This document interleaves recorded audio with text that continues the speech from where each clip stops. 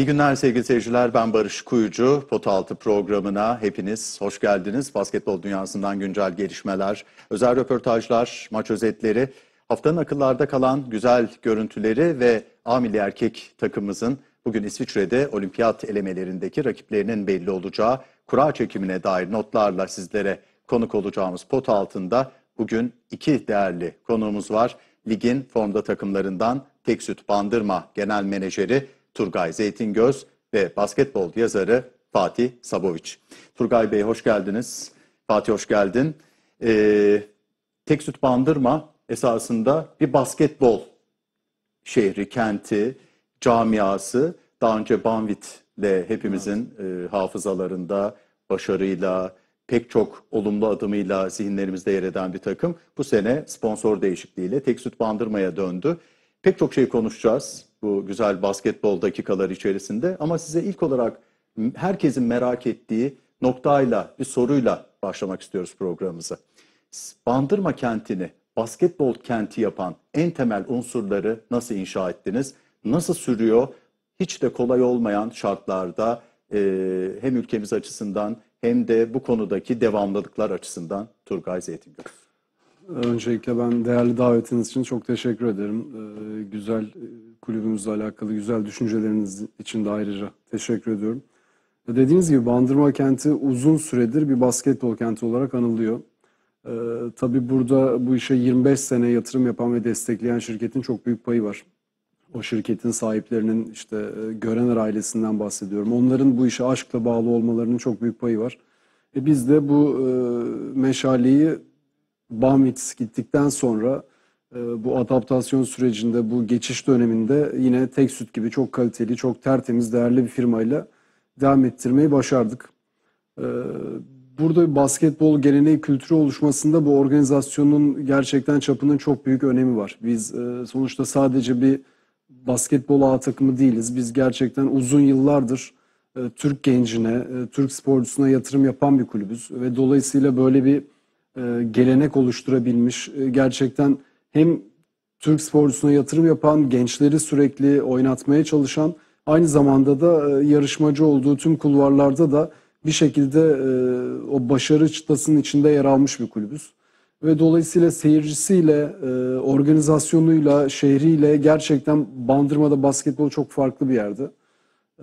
Bunu da yıllardır sürdürmeyi bir şekilde başarabiliyoruz. Umarım uzun yıllarda bu heyecan, bu macera devam eder, daha büyüyerek devam eder. Bunun için de elimizden geleni yapmaya devam edeceğiz. Bir gazeteci olarak sen nasıl değerlendiriyorsun Fatih? Sen de e, Banvit'le şimdi Tek Süt Bandırma'yla orayı atmosferini solumuş bir gazeteci bu konuyla ilgili yakından özel dosyalar hazırlamış bir isim olarak hangi yönüyle farklı, neyi iyi yapıyorlar ki pek çok oyuncu mutlaka işte Furkan Korkmaz da buna dahil şu anda ligimizde oynayan pek çok değerli oyuncunun performansının yükselmesi de buna dahil. Neyi farklı yapıyor sence tek bandırma? Yani açıkçası genelde sporda e, branş gözetmeksizin bir başarı elde edildiğinde e, bu mesela peri masalı diye e, genelde adlandırılır ama şimdi biz buraya baktığımızda Bambit'e ve şimdi de tek bandırma yapılanmasına baktığımızda bazı noktaların bir peri masalına e, fırsat vermeyecek şekilde iyi planlandığını, iyi programlandığını, iyi projelendirildiğini görüyoruz. Ben o yüzden e, kendi adıma bir analiz yapacak olursam her şeyi e, tek bir düzleme indiriyor, indiriyorlar. Ve burada da yani aile olma olgusu, e, eğitim ve sporun farklı farklı yönlerini değişik bakış açılarıyla ortaya koymaları çok kritik bir öneme sahip diye düşünüyorum. Bir ütopyanın aslında bir basketbol ütopyasının veya bir başarı ütopyasının Türkiye gibi güzel bir ülkede e, en güzel hayata geçirildiği, en güzel örnek teşkil ettiği nokta. Sizin de söylediğiniz gibi Furkan Korkmaz örneği var. Yani Furkan konusunda sizlerin emeklerini e, ben kendi adıma bir basketbol sever olarak teşekkür ediyorum. Furkan'ın kariyer yapılanmasında, Furkan'ın gittiği yolda çok önemli bir e, noktaya sahip. Şimdi biz eğer onurlanıp gururlanıyorsak sporcumuzun başarılarıyla, bunda kariyerinde yaptığı doğru tercih, o süre alamadığı dönemde Anadolu Efes'te Bambit'e gidişi ve akabinde hem o camiaya kazandırdıkları hem kendine kazandırdıkları çok büyük bir pay teşkil ediyor. O nedenle Banvit e, konusunda bir gelişme yaşandığında ben çok üzülmüştüm açıkçası. E, bundan sonrasında bu güzel e, yapılanma nasıl sürdürülebilir diye tek süt markasına da ayrıca teşekkür etmek lazım. doğru sponsorluklar, doğru geleneğin devam etmesi açısından çok çok önemli. Yani buradan çıkacak pek çok sonuç var ama bunlardan biri de bu açıkçası. Ee, merak ediyorum kendi altyapısından, sadece kendi altyapısından beslenip birkaç yabancı oyuncuyla takviye eden Avrupa'da başka bir kadro yok sanırım. Yani 9 oyuncunuzu siz kendi alt kaynaklarınızdan yetiştirdiniz ve şu anda o oyunculara dakika, forma şansı, tecrübe ve çok büyük fırsatlar sunuyorsunuz. Buna benzer bir örnek bilmiyorum biliyor muyuz? Benim basketbol açısından e, denk geldiğim bir örnek yok açıkçası. Yani futbol tarafında belki bu örneklendirilebilir ama o da e, dünya çapındaki projeler evet. tabii ki. Yani e, Banvit'in e, ve şimdi de Tek Süt Bandırma'nın yaptığı bu bağlamda basketbolda e, eşine az rastlanır bir e, projelendirme. Öncelikle sizler gibi değerli spor adamları tarafından takdir edilmek gerçekten yaptığımız işi bir noktada iyi yaptığımızı gösteriyor ki bize gerçekten gurur veriyor, çok da motive ediyor. Dediğiniz gibi bu sene özelinde bizim e, sezona başladığımızda 9 tane altyapıdan yetişmiş, kendi altyapımızdan yetişmiş oyuncumuz vardı. Bu 9 oyuncunun yanına yine e, bütçemiz orantısında yine bir adım atmaya müsait e, kariyerinde kariyerinin başında yetenekli gerçekten ilerleyebileceğini düşündüğümüz 5 tane yabancı oyuncuyla takviye ettik ve bu şekilde yolumuza devam ediyoruz. Dediğiniz gibi biz de bunun araştırmalarını yaptığımızda çok Avrupa'da bu tarz örnekler çok göremiyoruz ki gerçekten bizim için gurur vericidir. İşte 9 tane altyapı oyuncumuzun olması kadromuzda. Daha öncesinde yine bu altyapı oyuncularını geçiş süreci olarak kullandığımız bizim Bandırma Kırmızı takımımız Tabii. var biliyorsunuz. TBL'de mücadele eden. Daha önce o takım yine sadece altyapımızdan oyuncularla Süper Lig'e çıkma başarısı gösterdi. Bandırma'yı e, bundan 7 sene önce Süper Lig'de iki takımla temsil etti ki bu da belki de dünya tarihinde bir ilkti. Gerçekten çok meşakkatli bir iş ama sonucunda bunları görmek, bu gençlerin gerçekten süre aldığını ve ülke basketboluna da e, değer kazandırdığını görmek bizleri çok mutlu ediyor. İşte bu işi yaparken zorlandığımız zamanlarda bile e, milli takım kadrolarında, milli takım yarışmalarında, Avrupa Dünya Şampiyonalarında o sahada oynayan e, tek süt bandırmalı gençleri gördüğümüz zaman işte birçok zaman milli takımlarımızın belki ilk beşin dördünü teşkil ediyorlar ki gerçekten çok mutluluk verici. Ve bu işe bizim motivasyonumuzu daha da kolaylaştıran şeyler. İnşallah biz gücümüz yettiğince e, bu işe altyapıya yatırım yapmaya devam edeceğiz. Umarım da e, burada çok daha Furkan Korkmaz örnekleri çoğalır. E, Furkan Aynen. Korkmaz örnekleri artar. Furkan Korkmaz dediğiniz gibi çok özel bir örnektir. Belki sadece 6 ay oynadı bizim A takımımızda ama bu 6 ay dediğiniz gibi herkese çok ciddi e, şeyler kattı. Furkan zamanında biz Türkiye Kupası'nı kazandık. Şampiyon Ligi'nde final oynadık. Furkan da tabii ki Anadolu Efes'in katkıları Elbette. asla Tabii ki, yatsınamaz Furkan'a ama işte o 6 ay bize gelip oynaması ve bizim o basketbol kültürünün içinde bir şekilde gelişme şansını bulması gerçekten çok şey kattı herkese. Fatih Sabovic pek çok oyuncu var. Ben tek tek isim saymak istemedim. İşte haftaya damga vuran Rıdvan gibi isimler de var ama e, sen hangi oyuncuları daha yakından takip ediyorsun? Hangi oyuncularla ilgili daha fazla konuşacağımızı ilerleyen zamanda düşünüyorsun? Çok yakından takip eden bir basketbol yazarı olarak. Yani açıkçası şöyle e, yaklaşmak gerektiğine inanıyorum ben her zaman. Yani Banvit özelinde, e, şey tek süt bandırma özelinde konuşuyorsak. e, ben özellikle Ercan'a bir e, parantez açmak isterim. Şimdi biraz ikinci lige ineceğiz ama e, inanılmaz bir potansiyel. Türk basketbolunun geleceği için de ben fazlasıyla bir önem teşkil edeceğini düşünüyorum kendisinin. Zaten bizim e, şu anda tek süt bandırma takımında görev yapan bütün oyuncular ayrı ayrı özel. Şimdi herhangi birini alıp oradan Tabii, tabii. e, çıkartmak, herhangi Değil birini elbette ama taşımak. zaten şu anda da ekrana geliyor. Birbirinden değerli pırıl pırıl Evet. gencecik Türk oyuncular. Ee, sadece tek süt bandırma için değil. Bu hepimizin heyecanla takip ettiği milli takımlarımız için de. Sonrasında diğer değerli kulüplerimiz için de. Daha sonra belki NBA, belki Avrupa'nın önemli kulüplerinde ülkemizi temsil etme misyonları içinde. Çünkü artık hem futbolda hem basketbolda ekonomilerin sınırını görmeye başladı herkes. E, altyapının ne kadar önemli olduğunu işte futbolda Altın Ordu çok önemli bir emsal. Banvit sonrasında tek süt bandırma basketbolda önemli bir emsal. Anadolu Efes tabii çok uzun yıllardır bu konuda ciddi altyapı yatırımları. Fenerbahçe, Beko'nun, diğer büyük kulüplerimizin, Tofaş'ın herkesin bu konuyla ilgili daha geniş bir çerçeveye doğru gittiği bir dönemdeyiz. E, Bu kadar pırıl pırıl genç arkadaşlarımızı görmek pek çok açıdan sadece bir kulüp bazlı değil, geleceğe de umutla bakmamızı sağlıyor. Çünkü yabancı oyuncuların katkısı elbette çok önemli. Ama buradaki kültürü oluşturacak şeyin temeli yine kendi topraklarımızda. Anadolu Efes özelinde de mesela bahsedecek olursak beni e, en çok ileriye dair umutlandıran isimler şu anda artık A takım seviyesinde. Yani Ömercan İlyasoğlu, Mustafa Kurtuldum, Tabii, tabii. e, Yiğitcan Saybir zaten artık kendini iyice ispat etmeye Metecan başladı. mesela Karşıyaka'ya gitti Aynen öyle. Sarıca ile Yani- birlikte ve maça damga vuran isimler oluyor her hafta neredeyse. Yani herkes o kadar biri. güzel aslında taşları belli bir olgunluk çerçevesine yerine oturtmaya başladı ki artık yani belli gelenekler güzel oturdu. Yani bunlardan e, en önemlisi de dediğiniz gibi Anadolu Efes, Tofaş'ta yapılan işler, Tekstüt Bandırma'da yapılan işler. Bunlar sadece günümüzdeki o ligimizin heyecanını değil, milli takımımızın gelecekte yaratacağı heyecanları beslemeye tabii. başladı artık. Bu çok sevindirici bence en çok. Öyle. İsterseniz bir haftanın panoramasına bir göz atalım. Ee, bakalım geçen haftadan yansıyanlar neler? Çünkü oradan da çok dikkat çekici notlarımız var. İNG Süper Ligi'nde 9. haftada yine İzmir'in güçlü temsilcisi Pınar Karşıyaka'nın liderliğiyle tamamlandı. Zirve mücadelesi veren takımlar haftayı kayıpsız kapadı. İşte İNG Süper Lig'de haftanın görünümü.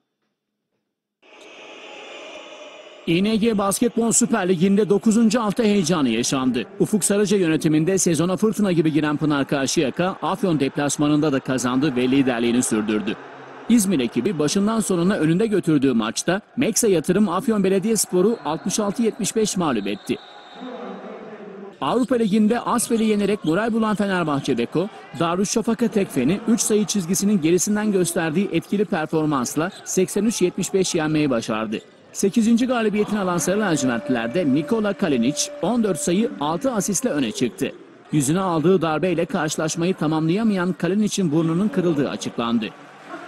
Tofaş son çeyreğe geride girdiği maçta Beşiktaş Sonpa Sigorta'yı 86-80 yenerek 7. galibiyetini aldı. Bursa temsilcisinde Williams 15 sayı, 7 rebound, 5 asistle galibiyette başrolü üstlendi. Beşiktaş'ta Shaq McKissack'in 23 sayı, 4 reboundluk performansı kazanmak için yeterli olmadı. Haftanın en farklı galibiyeti Galatasaray Doğan Sigorta'dan geldi. Yiğit Arslan ve Can Korkmaz ikilisinin yıldızlaştığı maçta Sarı Kırmızılılar Orman Spor'u 105-73 yendi. Yenilenen kadrosuyla iyi sonuçlar alan tek süt bandırma, zorlu Türk Telekom deplasmanından 91-81'lik skorla galip döndü ve zirve takibini sürdürdü. Ligin flash takımı Frutti Extra Bursa Sports, Sigortam.net İTÜ karşısında deplasmanda rahat bir galibiyet aldı. 90-71'lik skorla 5. galibiyetini alan Bursa ekibinde Perry Jones 27, Fremont 20 sayıyla en skorer isimler oldu. Gaziantep Basketbol Aral Üniversitesi Büyükçekmece'yi 90-71 mağlup etti. Savunmasıyla dikkat çeken Antep'te Ivan Buva 21 sayı 22 reboundluk performans sergiledi. Haftanın kapanış maçında Avrupa'da fırtına gibi esen Anadolu Efes, Bahçeşehir Koleji'ne konuk oldu. Baştan sona oyunda hakimiyetini kuran lacivert beyazlı ekip deplasmanda 93-67 kazanarak üst üste 6. galibiyetini aldı. Evet zorlu haftanın öne çıkanlarını hatırladık. Ee, tek süt bandırma e, baktığımız zaman iki mağlubiyeti var. Üst üste beşinci galibiyetinize ulaştınız. Haftanın da takım olarak gösteriliyorsunuz pek çok kaynak tarafından. Çünkü bunu hak eden de üst üste gelen sonuçlar var. Telekom maçı nasıl geçti? Biraz e, güncel maçtan da devam edelim. Neler yolunda gidiyor? Nelerden memnunsunuz? Neleri daha geliştirmeniz gerektiğini düşünüyorsunuz bu yolculukta? Ee, Biraz önce e, yayının içeriğinde de bahsettiğiniz gibi yeni bir takımız. Ee, Gençlerimizle geçen sene A takım kadromuzda yine kendi altyapımızdan yetişmiş e, Tolga Geçim, İsmail Cem Ulusoy ve Metehan Akil'i kaybettik. Sözleşme süreleri sona erdi. Onların yerine e, işte geçtiğimiz sene Basketbol Gençler Ligi'nde şampiyon olan kadrodan 4 oyuncumuzu aldık ve çok genç, yeni bir takımız. Geçen seneden sadece tek yabancı oyuncumuz tuttuk DJ Shelton ama o da sezon başında talihsiz bir sakatlık yaşadı ve sezonu kapatmak durumunda kaldı. Dolayısıyla hem yabancısıyla hem Türküyle gerçekten yeni bir takımız. Ee, açıkçası dediğim gibi yani bizim kulübümüzde bu kültür yıllardır var. Biz hakikaten her yarışmaya gerçekten o yarışmada bir şekilde başarılı olmak için çıkıyoruz. Bir şekilde başta olmak için yer alıyoruz. Ne kadar mütevazi de olsa bütçemiz ya da kadromuz, ne kadar genç de olsa böyle bir düşüncemiz, geleneğimiz gerçekten yerleşmiş bir durum var. E bu sene özelinde de ligde çok değerli takımlar var. İşte 5. galibiyetimi, galibiyetimizi aldık. Birçoklarına göre sürpriz olarak gözükse de gerçekten çok iyi çalışan, e, çok iyi niyetli bir oyuncu topluluğuna sahibiz. Onun dışında Hakan Demir e, başta olmak üzere çok gerçekten e, önemli bir e, Paya sahip. teknik heyetimiz var. tabii. Gerçekten çok özveriyle çalışıyorlar ve büyük paya sahipler. Hem gençlerin sürelerinde, gençlerin gelişiminde hem de takımın e, bir şekilde kazanan bir takımı olma hüviyetine kavuşmasında. E, Bu hafta özelinde de Türk Telekom çok önemli bir takım. Çok ciddi potansiyelli bir kadrosu var. E, Çok önemli yabancı oyuncuları var. Keza Türk oyuncuları da öyle. E, Deplasmanda tabii Türk Telekom belki galibiyetimiz sürpriz olarak düşünülüyor ama maçın başından sonuna kadar bence maçı daha çok isteyen taraf bizdik. Hem savunmada hem hücumda gerçekten bunun bilincinde olarak çok mücadele ettik. Çok tempo tempoyu hiç düşürmemeye çalıştık. Ve nihayetinde de Ankara gibi önemli bir deplasmandan galibiyetle ayrıldık. Beşinci galibiyetimizi aldık üst üste. Şimdi e, önümüzdeki hafta yine ligin önemli fakat şu ana kadar değerli fakat şu ana kadar istediğini yapamamış bir takımı var. Bahçeşehir. Onunla oynayacağız Bandırma'da. Ama lidere de tek mağlubiyeti yaşatan takım Evet, bir yandan. evet. E, çok değerli bir kadro o da. Yani tek tek oyunculara baktığınızda e, işte Jajuan Johnson gibi, Trey Golden gibi gerçekten bir maçı tek başına alıp domine edebilecek oyuncular var. Yine çok zor bir maç bizi bekliyor. Biz her maça gerçekten daha çok isteyen taraf olmalıyız ki e, bu grafiğimizi sürdürebilelim. Umarım böyle devam eder diye düşünüyorum. Açıkçası ben Hakan Demir, e, Bir Bambit, parantez tek açmayı süt çok bandırma. Evet, bir isim. Hakan e, Demir koçumuzun bu sağladığı bu kan uyumu, bu e, ten uyumu, bu muhteşem bir şey. Yani örneğine gerçekten az rastlanılan bir nokta olduğunu düşünüyorum. Siz Hakan e, koçun yaptıklarıyla alakalı neler düşünüyorsunuz? Yani ekstra diye altını çizeceğiniz bir nokta var mı? Özellikle bunu e, sizden dinlemeyi çok isterim. Ee, Şimdi Hakan abi biliyorsunuz geçen sezonun ortasında e, bizde baş antrenörlüğe başladı. E, Öncesinde çok ciddi bir e, antrenörlük deneyimi var. Çok ciddi bir tecrübesi var. Önce Anadolu Efes ekolünden gelen. Orada işte Oktay Mahmudi, Ergin Ataman, Hakan Demir gerçekten çok o dönem Türk basketbolunda da çok değerli isimler, değerli koçlar kazan, kazandırdığı dönem. Aydın Örsün ekibinden bahsediyorum. Hakan abiyle biz geçen sezonun ortasında beraber olmaya başladık. E tabii yıllardır tanıyoruz, yıllardır yaptığı işleri takdir ediyoruz. Ama bence o da e, kendi özelinde hak ettiği değeri şu ana kadar bulamamış bir antrenör. Ve burada bence uygun ortam, gerçekten basketbolu bilen insanlarla bir arada olması, basketbolla yatıp kalkan, gerçekten sürekli basketbol e, düşünen bir ekip var. E, Sizler de çok iyi biliyorsunuz. Başkanımız Özkan Kılıç, Turgay Çataluk sportif direktörümüz. Biz sürekli beraberiz ve sürekli basketbol konuşuyoruz. Sürekli artı ne koyabiliriz bunları planlıyoruz.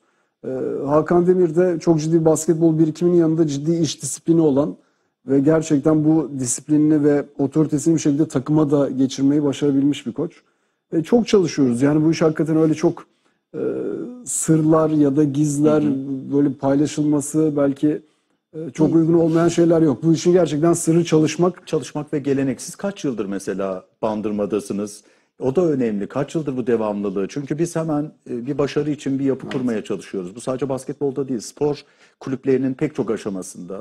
Hemen 3. ayın sonunda acaba yanlış mı yaptık gibi büyük takımlar da buna dahil pek çok farklı branşta hemen eleştirilmeye başlanıyor. Mesela siz kaç yıldır bandırmadasınız diye sorsak bence o gelenek kelimesinin matematiksel karşılığı da ortaya çıkabilir. Valla bizim kulübümüzde sadece ben değil. Bu gerçekten Yani sizden kulübün- birkaç kulübün yapısında bu çok net bir şekilde Tabii, tabii. belli oluyor işte.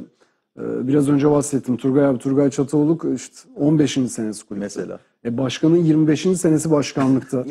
E, Ya işte bu rakamları duyalım. Altyapı e, sorumlumuz Ahmet Sürgen 15 senedir yine kulüpte bizle beraber. E, yani sürekli biz bu gerçekten sürdürülebilir yapıyı inandığımız insanlarla devam ettirmeye çalışıyoruz ki bence başarının önemli e, sırlarından, paylarından bir tanesi buna aittir. E, Benim 8. senem kulüpte ama 8 seneden önce 2001 senesinde ben Banvit Kulübü'nün kaptanıydım oyuncu olarak. oyuncu olarak. İşte Özkan abinin böyle bir misyonu var, başkanımızın vizyonu var. Ee, Daha önce Turgay abiyle, Turgay Çatalok'la başlayarak kulübü de güvendiği, gerçekten çalışacağına ve fedakarlığına çok inandığı insanlara teslim etmeyi tercih etti.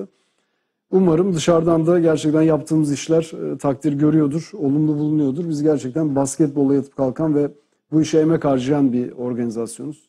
ve devamlılık gösteren Küçük takım çok teşekkürler. Küçük takımdan A takıma kadar e, neyi daha fazla yapabiliriz, neyi geliştirebiliriz bunları konuşuyoruz sürekli. Umarım bu şekilde devam eder. Ya BGL finalini hatırlıyorum. Ya gerçekten zorlu rakiplere karşı gerek Fenerbahçe Beko olsun, gerek Anadolu Efes olsun. Çok büyük takımlar, çok doğru altyapılar.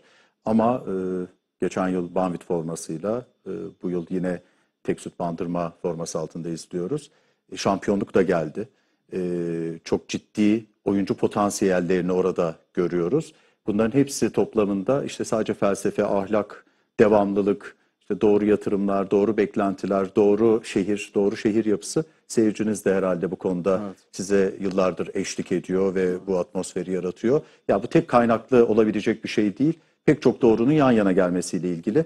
Ee, bu anlamda kulüpten bağımsız örnek alınacak çok yön var. Mesela sizle ilgili konuştuğumuz gibi yine kendinden söz ettiren lidere de geçelim bu arada. Pınar Karşıyaka sadece Bahçeşehir Koleji karşısında aldığı tek mağlubiyet ve sonrasında tüm maçlarından zaferle ayrılmayı bildi. Orada da bir Ufuk Sarıca Karşıyaka e, eşleşmesinin getirdiği yine bir farklı enerji var. E, bu konuda da sizin değerli görüşlerinizi almak istiyorum. Bir yandan maçı seyredelim. Pınar Karşıyaka'nın da bu haftaya damga vuran isimlerinden biri, en önde geleni 21 sayı 13 reboundla double double yapan Metecan Birsen. Yani orada da farklı şeyleri doğru yapılarla kurduğunuz zaman, e, birbirine eşlediği zaman galiba otomatikman bir sonuç çıkıyor. Ne diyorsunuz Pınar Karşıyaka'nın bu sezon şu ana kadar ortaya koyduğu performans ve liderlik unvanını haftalardır sürdürmesine? Pınar Karşıyaka bu sezon özelinde dediğiniz gibi Ufuk Sarıcı'yı baş antrenörlüğe getirerek zaten iddiasını göstermiş oldu en başında. Sonrasında da bence gerçekten çok kaliteli bir kadro kurdular. İşte daha önce e, bizim takımımızda da yer alan Jordan Morgan, Tony Taylor gibi e, hem Avrupa basketbolunu çok iyi tanıyan hem o takıma liderlik edebilecek hem de gerçekten takımını başarıya ulaştırabilecek potansiyelde oyuncular var.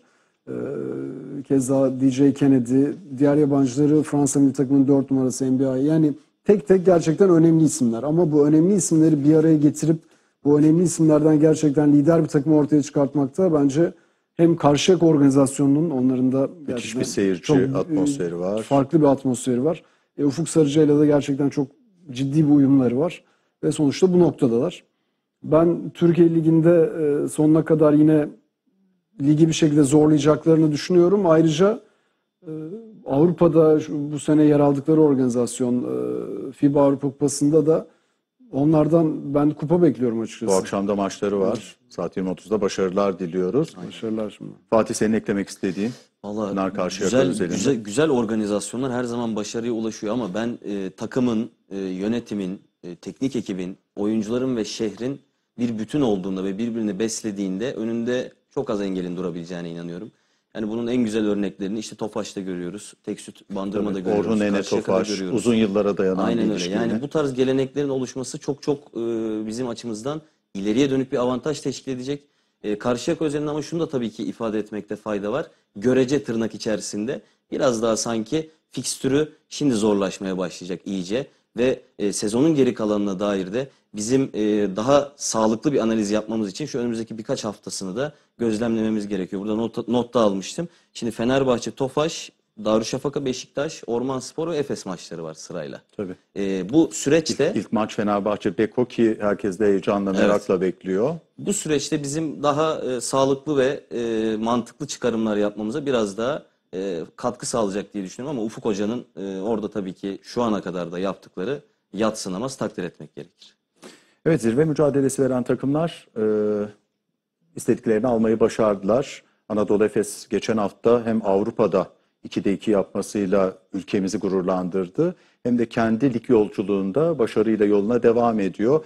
Anadolu Efes özelinde de konuşacak olursak nasıl yeni oyuncularla ilk yıl Euroleague finali Ergin Ataman gibi Türk basketbolunu çok iyi tanıyan bir isimle ve doğru organizasyonla yine yan yana geldiğinde e, Avrupa'yı bile şaşırttı. Belki potansiyeli çok güçlü bir takımdı ama ilk yılda böyle bir beklenti herkesin üstünde diyebiliriz diye düşünüyorum.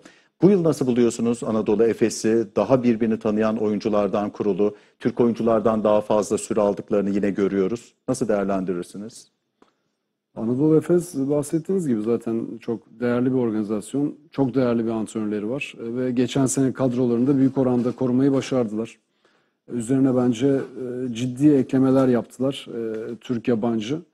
Bu senede Euroleague'de bence bu istikrarın da getirdiği özgüvenle gerçekten hem Türkiye Ligi'nde hem Euroleague'de çok başarılı gidiyorlar. Ben sağlıklı kalabileceklerini düşünerek Euroleague'de yine onlardan Final Four bekliyorum. E, Türkiye Ligi tabii biraz daha farklı. Türkiye Ligi'nde e, Euroleague takımları 9 yabancılarının işte şu anda e, yanlış saymadıysam Anadolu Efes'in 9 yabancısı var. 5'ini oynatabiliyorlar.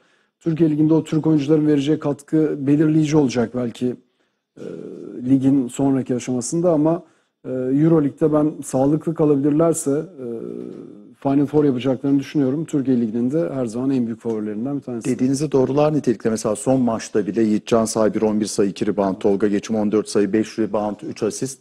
Bunlar güzel olgunlaşma seviyeleri hem de Anadolu Efes gibi Shane Larkin'lerin işte Dunstan'ın bir sakatlığı var ama çok değerli birbirinden önemli e, Singleton gibi tecrübeli oyuncuların arasında pişen bu Türk oyuncular büyük bir avantaj yakalıyor. Fatih senden de bir yorum alalım. Sonra özel bir röportajımız var. Ergin Ataman'a kulak vereceğiz. Türk oyuncularımızın e, ben oradaki oyuncu arkadaşlarımızla da yaptığım, genç arkadaşlarımızla yaptığım sohbetlerde de çok değiniyorlar. Özellikle Larkin ve e, Vasilya Mitsic e, inanılmaz bir mentörlük performansı da ortaya koyuyor orada. Çünkü her anlamda e, yardımcı olduklarını ifade ediyorlar. Bu da e, çok daha güzel bir şekilde onların e, pişmesine, olgunlaşmasına yardımcı oluyor. 3 sene öncesine dönecek olursam e, Sayın Alper Yılmaz'la bizim bir röportajımız vardı. Kendisine orada e, geleceğe dair, yakın geleceğe dair hedeflerini sorduğumda Anadolu Efes ruhunu e, biz geri getirmek istiyoruz ve buna hazır olduğumuzu hissediyoruz demişti. Aslında yine bakıyoruz arkasında güzel bir planlama programlama var bugün gelinen noktanın. E, Anadolu Efes camiası da, Türk basketbolu da geçen sezon e, Ergin Ataman'la birlikte yakalanan o muhteşem momentuma hazırdı. Ergin Hoca geldi e, ustalığıyla en güzel yemekleri yapmaya başladı orada. Şimdi de e, Turgay Bey'in de dile getirdiği gibi geçen sezonki kadronun özellikle Shane Larkin'in e, korunması çok çok önemliydi. Tabii. E, çünkü fark yaratıyor. Her adım attığı her İzlemesi noktada büyük keyif. Taraflı tarafsız herkes tarafından. Bir basketbol severseniz Shane Larkin'i, De Colo'yu, Evet. birbirinden değerli diğer büyük yıldızları izlemek ING Süper Lig'de Avrupa'nın en değerli liglerinden biri, en önde gelenlerinden. Bunlar hepimizi basketbol aşkını daha da artırıyor. Ergin Ataman'la ekip arkadaşımız Ejder Yasin Turhan bir araya geldi. Hem tekrar Euroleague'deki o çıta yükselmesi, daha önce final oynadığı geçen yıl İspanya'da bu yılki hedeflerini sordu. Dunstan'ın sakatlığı ile ilgili güncel bilgileri yine ilk ağızdan Ergin Ataman'dan öğrendi Ejder Yasin Turhan. Valla şimdi geçen yıl e, final oynayan e, bir takımın oyuncuları e, bu sene şampiyon olmak istiyorlar. Bunu oyuncularım da söylüyor. Ama e, bugünden ben e, biz şampiyon olacağız dersem bu biraz e, hayalcilik olur. E, çünkü gerçekten çok güçlü rakiplerimiz var. E, ve sonuçta şampiyonluk e, Final Four'da e, tek maçlar sonunda belli oluyor. Yani e, siz normal sezonu e, birinci, ikinci bile bitirseniz bazen Final Four'a bile kalamıyorsunuz veyahut da Final Four'da yarı finalde kaybedebiliyorsunuz. Onun için burada dikkatli olmak gerekiyor ama tabii ki hedefimiz şu anda Euroleague'de oynayan her takım gibi e, hatta yukarıyı düşünen her takım gibi biz de e, yeniden geçen yıl yakaladığımız başarıyı yakalamak ve onun üstüne, üzerine çıkmak istiyoruz. Onun üstü de şampiyonluk zaten. Euroleague çok uzun bir maraton. E, şu anda da normal sezon 34 maçlık bir maraton ve bunun sadece 10 maçı oynandı. Ama iyi bir başlangıç yapmak e, bizim açımızdan tabii ki bir moral oldu. Takımın şu andaki motivasyonu e, gayet iyi ama şunun da bilincindeyiz ki yani Euroleague'de zaten sonuçlar gözüküyor. Bu sene favori yok. Yani Barcelona e, çok e, büyük bir favori olarak gösteriliyordu. E, şu anda aynı puandayız. İki mağlubiyeti var. E, Dunstan'ın e, sakatlığı bizim için sürpriz oldu. Ani bir sakatlık oldu. Şu anda e, yurt dışında Almanya'da e, tedavisi devam ediyor. E, onun daha bir 2-3 haftalık e, süreci olduğunu e, öğrendim. E, takip ediyoruz ama biz e, sakatlıkları mazeret olarak hiçbir zaman önümüze koymayacağız. Çünkü yani mazeretler bize puan kazandırmıyor. Biz elimizdeki oyunculardan en iyi şekilde faydalanıp e, bu dönemde bu dönemleri de kayıpsız geçmeye çalışacağız. E, Sertaç ve Plyce'ın e, hem Villarban maçında hem de e, Milano maçındaki performansları bize 5 numara pozisyonunda bir sıkıntı yaşatmadı. Ama Euroleague çok uzun bir maraton. Ee, Brian Dunstan bizim takımın özellikle de savunmanın bel kemiği. Ee, bunun örneğin Zenit maçında 25 sayı öndeyken biliyorsun son periyotta maçı bir sayıyla kazandık. Ee, 38 sayı yedik. Oralarda aradık Dunstan'ı ama sonuçta e, şu anda elimizdeki kadro bu. Elimizdeki oyunculardan en iyi verim almaya çalışacağız. Geçen hafta bunu aldık. Ümit ediyorum ki işte Cuma akşamı da gene alırız. Evet başarılı Türk baş antrenörlerimizden Ergin Ataman'ın güncel gelişmeler hakkında verdiği özel röportajı hep birlikte izledik. Ve geçelim Fenerbahçe Beko'ya. Fenerbahçe Beko'da aynen Anadolu Efes gibi bizi e, çok gururlandıran bir yapıya sahip. E, antrenörü dünya çapında Euroleague'in efsanesi, basketbol tarihinin gelmiş geçmiş en sevilen isimlerinden biri. Gerek başarılarıyla gerek farklı e, yarattığı hikayelerle Fenerbahçe Beko'da çok uzun yıllardır basketbola yaptığı yatırımın karşılığını hem şampiyonlukla gördü Euroleague finalinde e, geçtiğimiz yıllarda hem de sürekli Final Four geleneği yarattı. Bu da çok önemli bir başka adım bence şampiyonluk kadar. Nasıl buluyorsunuz Fenerbahçe Beko'nun daha da güçlenmiş kadrosu biraz beklentilerin gerisinde kalmış gibiydi ama bir toparlanma sürecine de girdiler. Bence Fatih, Fatih Saboviç bir basketbol yazarı olarak bir gazeteci Yani- dostumuz. Bunu bekliyor muydun Fatih yoksa bu bir geçiş süreci zaten yeni isimlerle böyle bir şeyin olması normal miydi? Spor da aslında biraz hayatın yansıması gibi. Bazen e, ne kadar planlama yapsanız da e, bazı taşlar beklediğiniz şekilde yerine oturmayabiliyor. E, fakat Fenerbahçe'nin özellikle Bogdan Bogdanovic ayrıldıktan sonra takımdan e, bir lider saha içi hem oyun hem skor lideri yoksunluğu çektiği ortadaydı. Bu sezon lider geldi, yeni bir lider geldi ve yeni bir liderin uyum sağlaması da e, zaman alacaktır. Çünkü e, Dekolo dediğimiz isim e, zaten hafife alınacak bir isim değil. Bunu sahada da gösteriyor ama takımın e, biraz daha e, hem uzunlarıyla hem kısalarıyla hem e, rotasyon oyuncularıyla Dekolo'nun çevresinde, Dekolo'nun liderliğinde oynamaya alışması gerektiğine inanıyorum. E, bir tırnak içerisinde bir metal yorgunluğundan bahsedebilir miyiz artık Fenerbahçe'de? E, pek böyle olduğunu düşünmüyorum. Jelko Obradovic'in e, olduğu bir yerde pek bir metal yorgunluğu yaşanacağına inanmıyorum ama saha içi ve saha dışı hep birbirine paralel ilerler. E, saha dışındaki çözümlerin de zaten e, son dönemdeki haberlere de bakıyoruz. Yavaş yavaş e, çözülmesine e, doğru ilerlendiği mesajı geliyor. Fenerbahçe çok büyük bir camia e, ve taraftarı da zaten e, yeri geldiğinde belli bir duruş göstermeyi her zaman bilmiştir. Bu futbolda da, basketbolda da, diğer branşlarda da böyle oldu. Ee, yine o duruşu e, saha içi skorların güzel yansımalarıyla destekleyip kısa süre içerisinde ben toparlanacağına inanıyorum. Fenerbahçe'nin şampiyonluğa ulaştığı e, sezonu hatırlayalım. E, ilk dört içerisinde değildi bu takım sezon bittiğinde. E, böyle kötü başlangıçlar yaşanabilir ama e, dediğim gibi ben o tecrübeyle, o bahsettiğimiz gelenekle kısa sürede toparlanacağına inanıyorum kendi adıma. Öyle gözlemliyorum. Fenerbahçe'deki yıldızları seyretmek bir keyif ama bazen o akort biraz daha zaman gerektiriyor. Siz de takım kuran, yıllarca bu takımlarda yer alan bir basketbol adamı olarak kısaca görüşlerinizi almak isteriz. Açıkçası Fatih'e katılıyorum. Bence de Fenerbahçe muhakkak bir yola girecektir. Ee, bunda tabii şu ana kadar özellikle Euroleague'de bocalamasının sebebi tabii bu fikstürün azizliği de var. Euroleague'de bu sene farklı bir fikstür formatı var ve Fenerbahçe e, Fatih daha iyi bilir. Çok fazla sayıda deplasman maçı oynadı şu ana kadar. Daha fazla çift hafta maçı Evet, var. Yanlış da bilmiyorsam önümüzdeki 6 haftanın 5'ini kendi sahasında oynayacak. Dolayısıyla bence Fenerbahçe'nin kazanmaya ihtiyacı var. Ee, Hem oyuncuların özgüveni açısından hem de e, takımın ivme kazanması açısından e, bir seri yakaladığı zaman Fenerbahçe çok kaliteli bir takım, çok değerli bir antrenörleri var. Bence de sadece ihtiyacı olan kazanmak, e, o galibiyetler geldikten sonra takımda e, değerini, kendini bulacaktır diye düşünüyorum.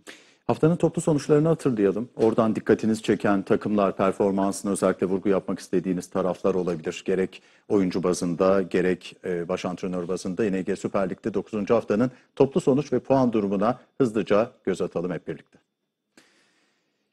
Evet, Gaziantep Basketbol, Arel Üniversitesi Büyükçekmece maçından ev sahibi takım galip ayrılmıştı. Tofaş, Beşiktaş Sonpo Japan karşısında galip geldi. Teksüt Bandırma üst üste 5. galibiyetini Ankara deplasmanında aldı. Pınar Karşıyaka liderliğini sürdürüyor. Galibiyet serisini de öyle. Ertuğrul Erdoğan yönetiminde yine çok başarılı bir başka takımımız Galatasaray Doğa Sigorta, OGM e, Orman Spor karşısında e, galibiyet elde etti. Sigortamnet İTÜ, Frutti Ekstra Bursa Spor maçından galip ayrılan taraf konuk takım olmuştu. Fenerbahçe Beko, Darüşşafaka Tekfen karşısında Melih Mahmutoğlu'nun da önemli katkısıyla, diğer yıldızların da önemli katkısıyla galip gelmeyi bildi. Bahçeşehir Koleji Anadolu Efes'e mağlup oldu. Anadolu Efes de ligin zirve takipçisi olarak yer alıyor Pınar Karşıyaka'nın ardından. Evet puan durumunu çok kısaca hatırlayalım. 9. hafta sonunda Pınar Karşıyaka'nın liderliği sürüyor. Anadolu Efes, Fenerbahçe, Beko, Tofaş, Teksüt, Bandırma, Galatasaray, Doğa Sigorta, Frutti Ekstra, Bursa Spor, Darüşşafaka, Tekfen lideri takip eden takımlar. Hemen ikinci sayfayı da hızlıca görelim. İkinci sayfamızda Beşiktaş, Sompo, Sigorta, Meksa Yatırım, Afyon Belediyesi, OGM, Orman Spor, Gaziantep Basketbol, Türk Telekom, Arel Üniversitesi Büyükçekmece, Bahçeşehir Koleji sıralanıyorlar. Ligin en altındaysa İNG Basketbol Süper Ligi'nde sadece bir galibiyeti olan Bahçeşehir Koleji gibi Sigortam Net İTÜ yer alıyor. Haftanın programına da göz atalım.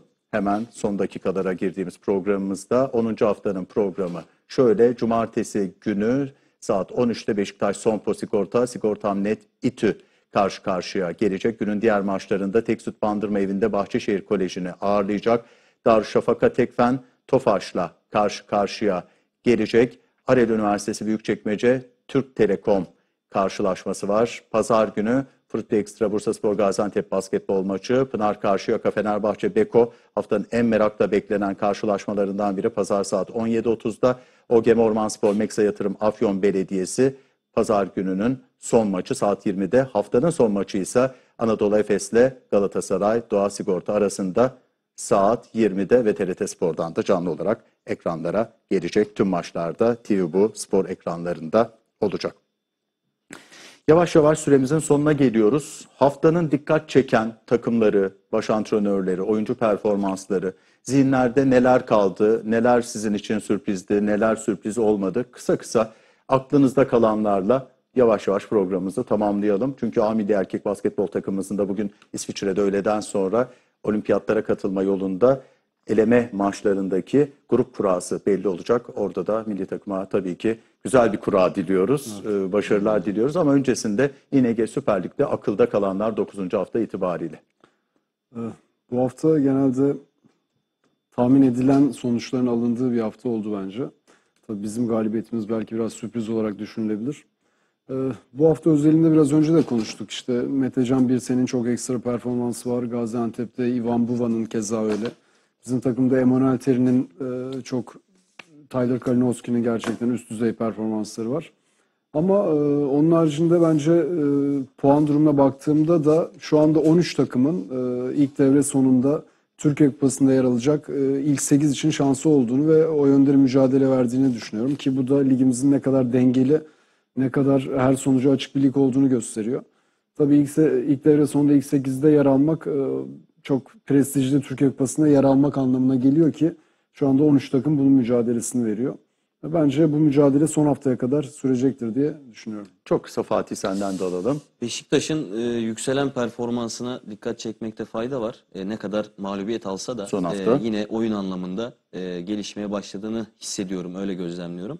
E, Bahçeşehir Koleji'nin de biraz daha e, böyle ayaklarını sağlam yere bastıktan sonra bir yükselişe geçebileceğini düşünüyorum. Onların e, seyirci potansiyeli, onların o genç potansiyeli bizim basketbolumuz için çok değerli. Her zaman bu ligde var olmalarını dilerim kendi adıma. Tüm takımlara başarılar. Ne kadar heyecanlı bir lig, o kadar hepimizi mutlu eden e, gelişimler, heyecanlar, daha dolu tribünler ve Türk basketboluna olan katkı.